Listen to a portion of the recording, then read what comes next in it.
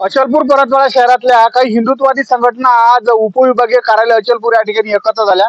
अचल ऐतिहासिक अचलपुरातलं एक प्रकरण आहे. त्याला काहीतरी लाखबंद नावाचं प्रकरण आहे. त्या ठिकाणचं काहीतरी त्या ऐतिहासिक वस्तूच्या बद्दल काहीतरी वाद चालू आहे. त्या प्रकरणाबद्दल थोडीशी माहिती असणारे आमचे अभयदादा मातनेत. अभयदादा काय नेमकं प्रकरण? सांगा बरं जरासं.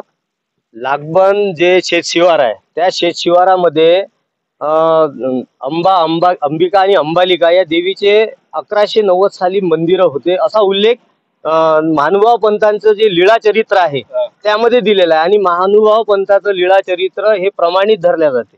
कारण त्या अनुषंगाने त्याच्या आधारावरच बरेचसे इतिहास लिहिले गेले आणि बरीचशी माहिती पुरातत्व विभागाला मिळाली. त्यामुळे या वि- या विभाग या ज्या लीळा चरित्रात उल्लेख आहे आणि जे तिथले नकाशे काढले यांनी श्यामभाऊनी त्याचं शि- शिवार आहे तिथे.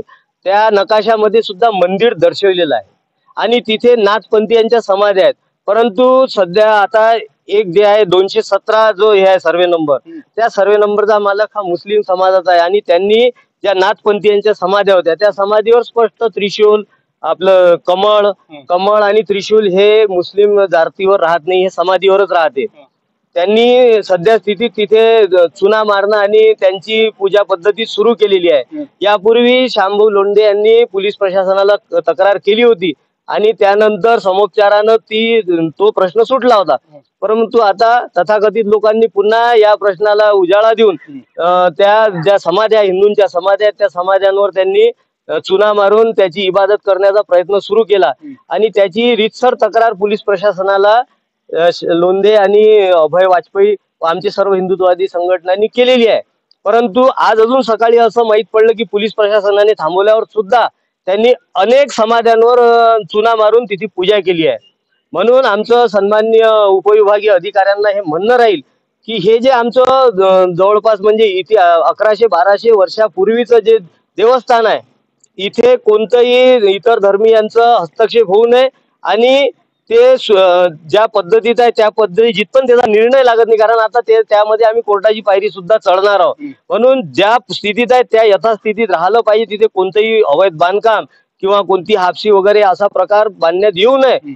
त्याचप्रमाणे ते आमच्या हिंदू लोकांचं असल्यामुळे हिंदू लोकांच्या सुपूर्द करण्यात यावं.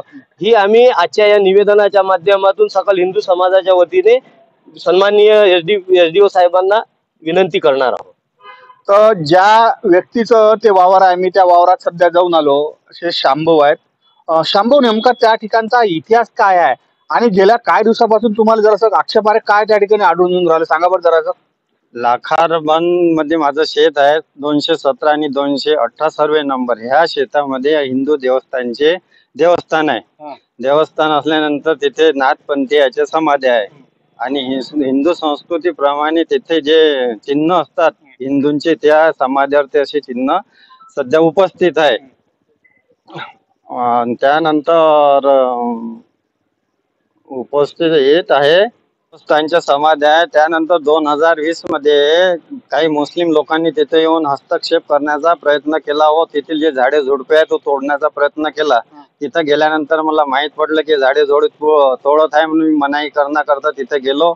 आणि मनाई केल्यानंतर त्यांना विचारलं की तुमच्याजवळ या जागेचं काय प्रूफ आहे? तर त्यांनी विचारलं सांगितलं हम दो दिन के बाद ला के देंगे त्यानंतर त्यांनी आजपर्यंतही ते प्रूफ मला आणून दिलेलं नाही आहे त्या जागेचं. त्यानंतर मग मी पोलीस स्टेशनमध्ये रिपोर्ट दिला. रिपोर्ट दिल्यानंतर आम्हालाही बोलावण्यात आलं आणि त्यांनाही बोलावण्यात आलं. बोलावल्यानंतर आम्हाला त्यांनी समज दिला की बा तुमच्याजवळ जे काही कागदपत्र असेल ते तुम्ही तर सादर करा. त्याप्रमाणे आम्ही आमच्या जवळचे जे आठशे वर्षापूर्वीचे जे कागदपत्र होते ते आम्ही तिथं सादर केले आणि त्यांनाही तसा संबंध दिला. पण त्यांनी तिथे कागदपत्र सादर केले की नाही त्याबद्दल मला माहिती नाही. पण गौरव साहेबांनी मला सांगितलं होतं की त्यांनी कोणत्याही प्रकारचे कागदपत्र नाही आहे असं आम्हा आमच्याजवळ लिहून दिलेलं आहे. असा ते वाद झाल्यानंतर काही दिवसांनी तो वाद आपसात बसून संपुष्टात आला. संपुष्टात आल्यानंतर आता दोन हजार चोवीस साला सालामध्ये आज रोजी अजून पुन्हा त्याच माझ्या एरियातल्या आणि त्या देवस्थानला अजून रंगरंगोटी करून पूजापाती करण्याचा प्रयत्न केला आणि शहरातील ताणतणाव जातीवाद निर्माण करण्याचा प्रयत्न ते असे लोक करत आहे.